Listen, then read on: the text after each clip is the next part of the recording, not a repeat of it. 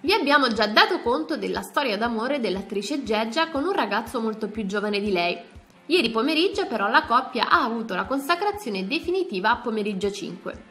Il pubblico da casa ha così conosciuto Michele, 24 anni, modello e figurante nell'ultimo video musicale di Geggia che di anni ne ha 55. L'attrice ha parlato senza problemi del suo rapporto con Michele e anzi è stata anche ripresa dalla D'Urso per il suo linguaggio un po' troppo volgare.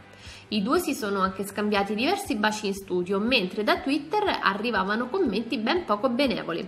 Ma sì, dai, lui ha bisogno di visibilità e lei più di lui, qualcuno scrive. A cui fa seguito: Cara Geggia, se non fosse una montatura pubblicitaria avresti tutto il mio rispetto. Alla faccia dei ben pensanti, però io non ci casco.